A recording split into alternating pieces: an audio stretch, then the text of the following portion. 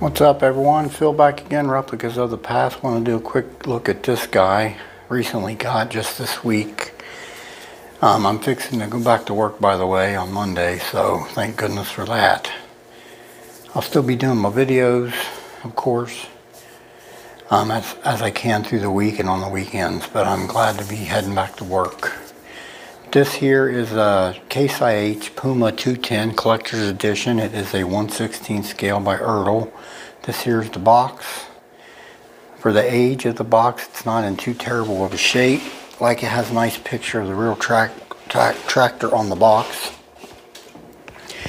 And it says the exceptionally versatile Puma line from Case IH gives you the you precisely the power you need for whatever task you're tackling. Plus, the new cleaner burning, more powerful engines boost both fuel efficiency and pro productivity.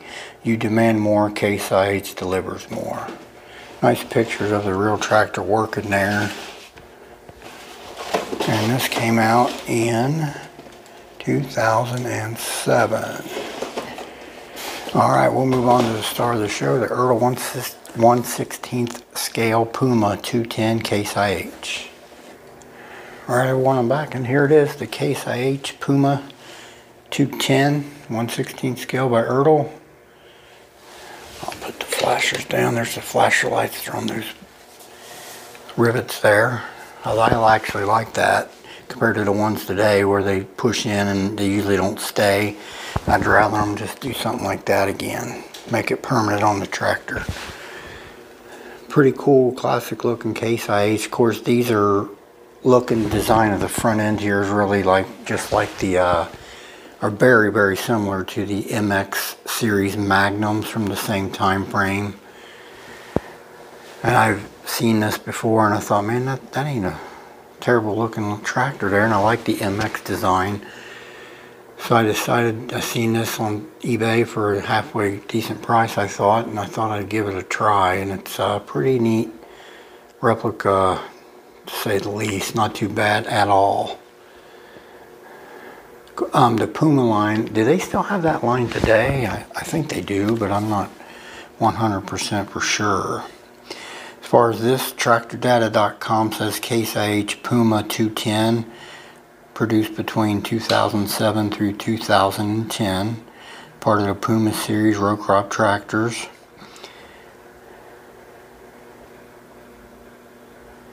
Previous tractor in this line was a Puma 195 and the next tractor in this line was a Puma 225.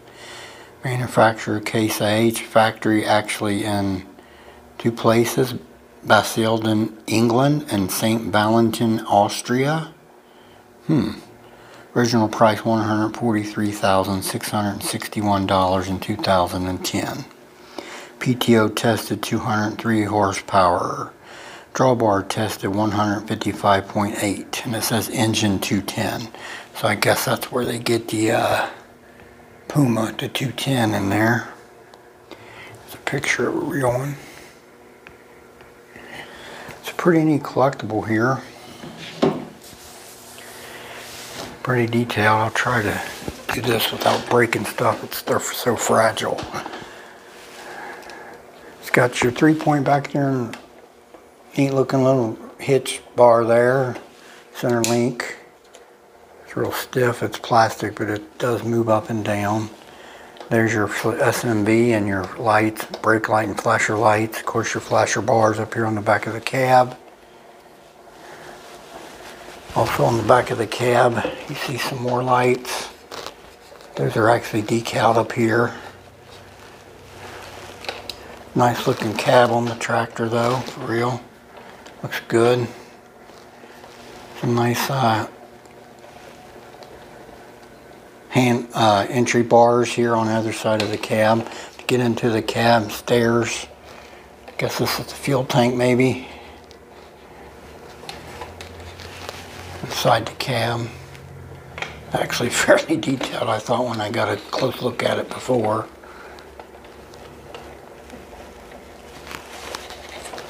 It's not too bad.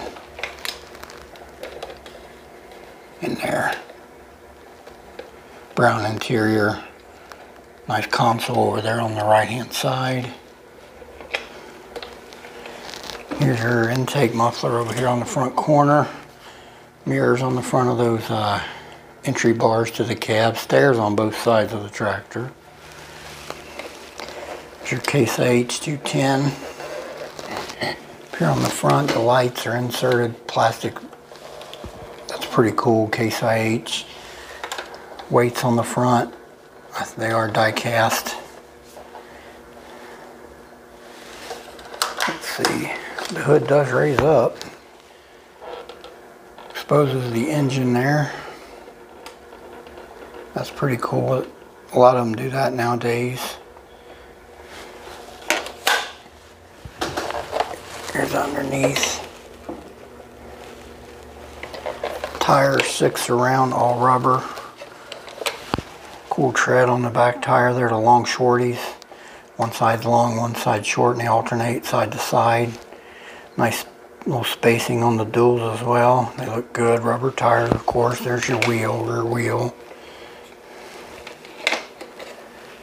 Front wheel, front wheel assist, of course. Looks pretty good. Tires as well, alternating long, short tre uh, treads. Some uh, mud flaps on the front as well. It's a pretty good looking tractor there. Not too bad. We'll do a real quick comparison with this guy. Let's do that now. All right, I want here's my Case Puma 210, Case IH Puma 210, alongside my white Oliver 1855. That's a Lafayette show tractor.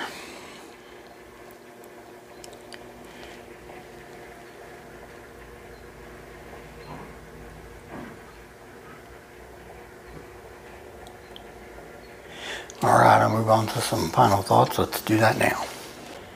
All right, everyone, I'm back. Ertl 116 scale case IH Puma 210. Really cool replica here. I, I was surprised at how neat it is. I, I like how it's set up rather well. I think I paid right around 100 with shipping on it from off an eBay. So that's not terrible. It's a pretty cool tractor. Pretty neat little replica. I'm glad I picked it up.